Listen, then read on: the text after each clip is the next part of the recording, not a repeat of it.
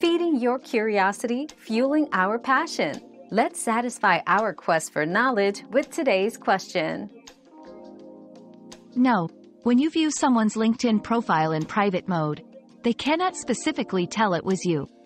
They will only see that an anonymous LinkedIn user viewed their profile without any details about your identity. This feature allows users to browse profiles discreetly, facilitating confidential job searches or competitor research without disclosing their interest. However, it's important to remember that under certain LinkedIn premium subscriptions, some information might still be visible to the profile owner. Our quest for knowledge never ends. Thanks for being part of today's discovery.